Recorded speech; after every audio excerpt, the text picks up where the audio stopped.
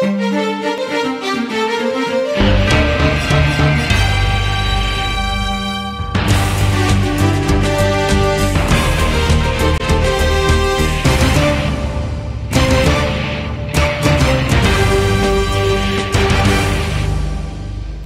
morning, Warhawks. Today is November 14th, 2012.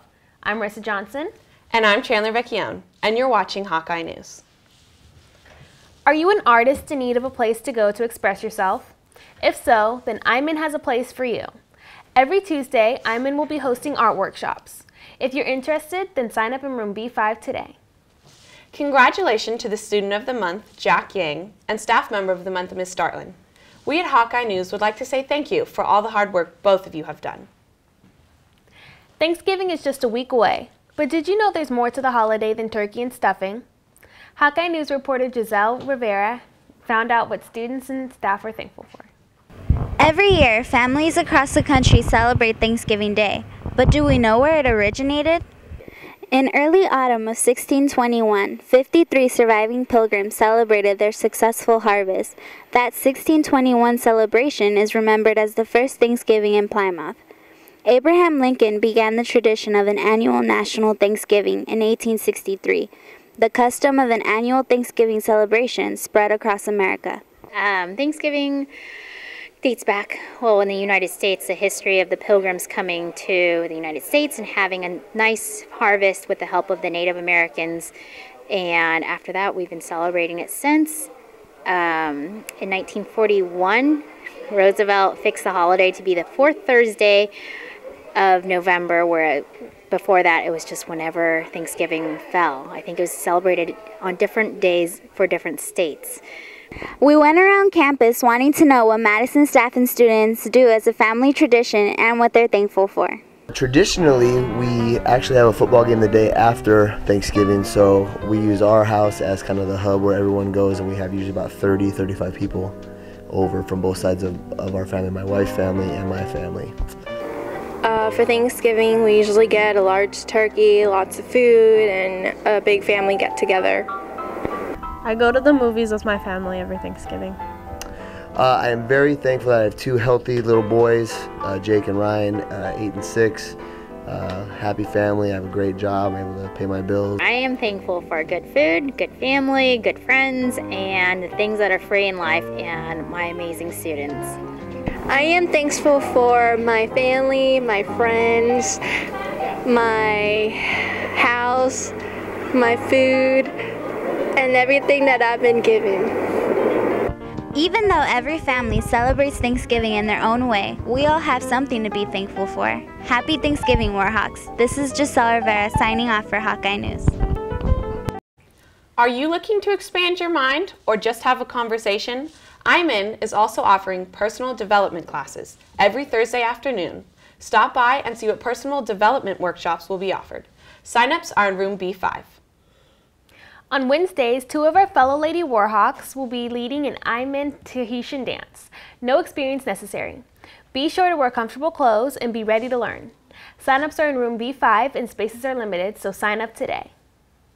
We all know how difficult it can be to wake up for school every day. But what is the real reason we're so tired? Hawkeye News reporter Anthony Lee has some tips on how we can get more sleep.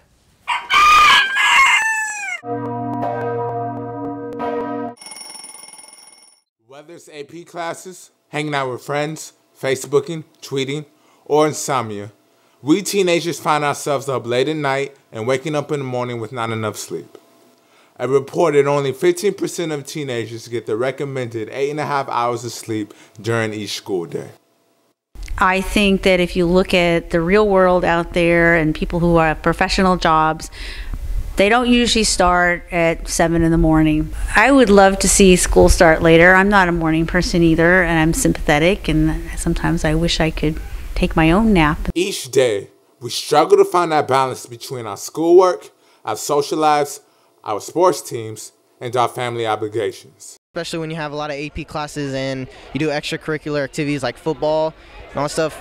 So if you want to have good grades and you want to have a social life, you have to do a lot of time management and you're going to have to give up some sleep. So after I took my nap yesterday, I was thinking, how do I fix this sleep problem? Here's some tips. Your body has a sleep pattern. According to numerous sleep studies, if you go to bed and wake up at the same time every day, you will find yourself less tired and more refreshed. Yes, this does include weekends. Try turning off your cell phone an hour before you go to bed. Electronics help stimulate the body, further making it harder to go to sleep. Avoid sleeping pills. Sleeping pills have shown to have little, if not no, effect on inducing better and faster sleep. And finally, make your bed your bed. Your bed is made for sleeping. Avoid using your bed for homework or watching TV. Let your body recognize that when you hit those bed sheets, it's bedtime. Now, I hope you sleep well tonight. And don't let the bed bugs bite. It's Anthony Lee signing off from Hawkeye News. And now for some local and national news. Lady Gaga has donated $1 million to the Red Cross to help the New York City and New Jersey areas rebuild after the damage from Hurricane Sandy. Lady Gaga announced this donation on her website last Wednesday, along with a special message to her hometown of New York. Star Wars fans, listen up. Disney has purchased movie and TV production house Lucasfilm for more than $4 billion. A new Star Wars Episode 7 is scheduled for release in 2015. Lucasfilm founder George Lucas will be a creative consultant for the next Star Wars film. A total of three episodes of the famous saga are in the works. Disney plans to release the new Star Wars films every three years.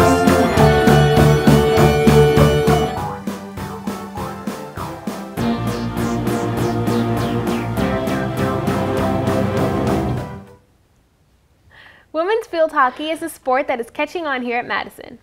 Hawkeye News reporter Jessica Rosales has more on the team. Madison has a variety of different sports. One happens to be field hockey. Not many students know about this sport, so we caught up with the ladies to see what is new this year. Field hockey was introduced to the U.S. in 1901 by Constance Applebee. It was originally thought to be too dangerous for women to participate in, but eventually spread quite quickly amongst the English women. Field hockey is a game for an overall athlete. We spoke with the captains to inform us about the sport. Some of the schools we compete against are Bishops, La Jolla, Cathedral, and those are really, really good schools. And unfortunately, here at Madison, field hockey isn't really popular, so we're like underdogs. And hopefully, next year, a lot of people will try out because it's so much fun. This new year, it's definitely different because we have a new coach, obviously. She pushes us a lot more and makes us run a whole lot. This year, the Madison field hockey team has a new coach, Nicole Cardone. She was a former student here in 2008. She is proud to be the coach of this well rounded team.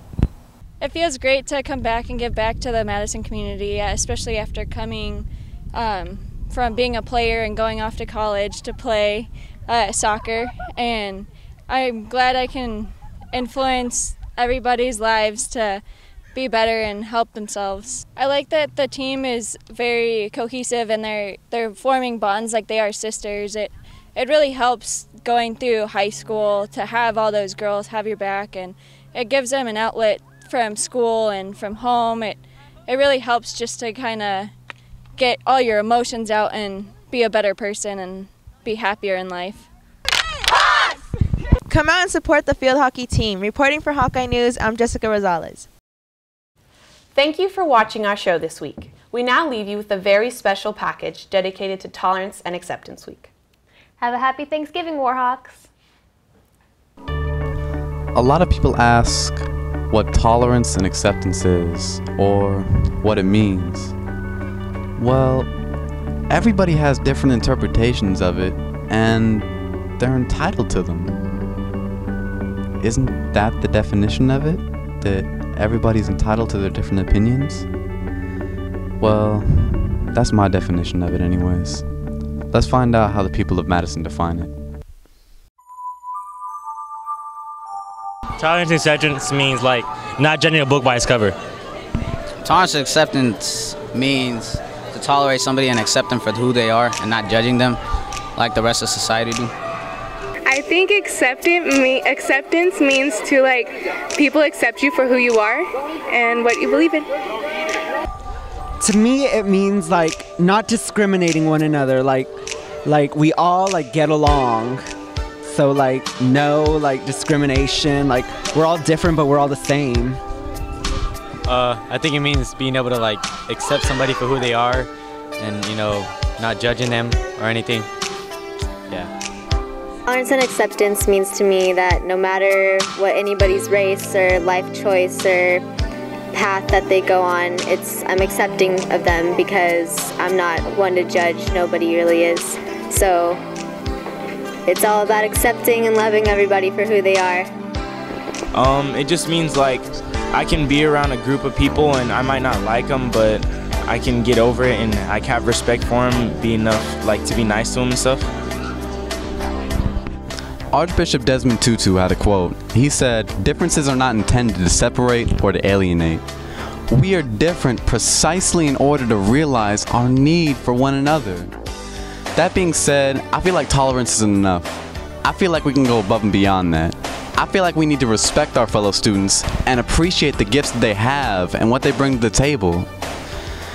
After watching this, I want you to remember two things. One, respect your fellow students, and two, remember Mother Teresa's quote that we will never know all the good that a simple smile can do. So don't forget to smile, Warhawks. This is Thomas Johnston, signing off from Hawkeye News.